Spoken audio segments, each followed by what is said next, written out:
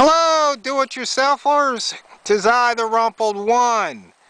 As some of you may know, I like to build things out of pallets. So, I built myself a Jamaican bar and chicken shack. Make some jerk chicken.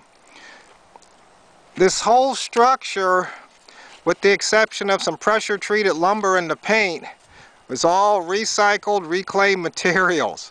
Uh, I get the pallets from the from the uh, lumber yards around town.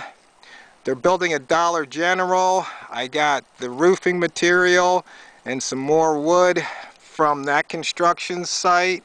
Um, they were actually, it's a Dollar General stores are pretty big. I don't know if they have them in your area, but they were uh, getting rid of uh, three feet wide by up to seven feet long um, roofing material. So uh, what was really cool is the um, the dimensions on this. It's like an 80 inches because uh, the pallets come out to just under 40. So it's you know 40 and 40 is 80. And I, I, I didn't do a step-by-step -step because I've already done that. You guys, you can go back and look at how I built my uh, my other pallet shed. But this is this is a fun. This was just for fun. So um, I got my uh, Harbor Freight solar panel up on the roof and just in case somebody says I spelled chicken wrong, uh, go out to Google, uh, Google Jamaican chicken shacks and you'll see that some people spell it that way. And then I hand painted my Yaman. If you say it fast, it's jamming. Yaman. So, and And uh, shout out to JNL. JNL, it's level plumbing square.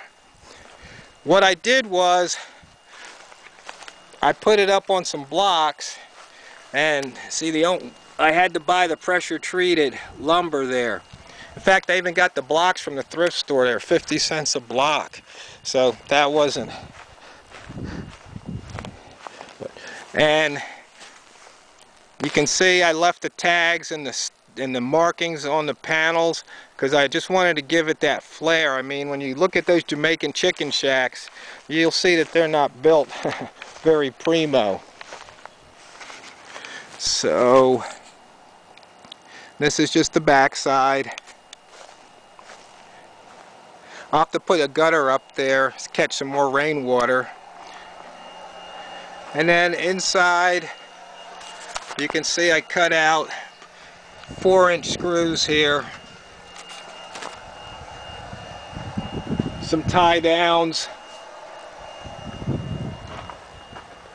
You can see right there keep the roof from getting blown away.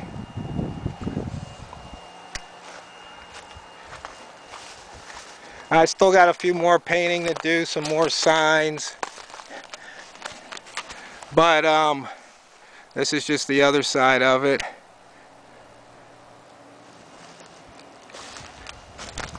But, and then here's, here's the view. So you can come over, sit at the picnic table, and you got a nice view across there. And the ocean's that way. I might have to cut some trees down. Maybe we can still see it. So that is my project. I started this, um, if I remember correctly, I think I started building the walls on Thursday, or actually doing the ground on Thursday, got the rototiller out and tilled it up, started leveling it out. And then on, uh, say Thursday, Friday, I started building the walls. Saturday, put the walls up and then um, Saturday night put the first coat of paint on it. Yesterday put the rafters up for the roof. Today I put the roof the sheet metal up for the roof the sheet metal over there in that little area. And so now I'm just kind of dinking around. I painted the signs today. But it's fun. So I'll be doing some jerk chicken and uh, just enjoying it out here now, you know, anybody that wants to say, oh, you're this great trader, how come you're getting recycled stuff? well, it's because I can. That's why. if I wanted to buy the wood, I'd buy the wood, but it's just not the same. You know, I'd much rather pull nails out of out of pallets, you know, spend an hour or two doing that, because then it's a sense of pride, ownership. Anybody can go and, you know, spend $3 and get a 2x4, you know, but, you know, finding a good score, that's a whole different thing. Sense of accomplishment.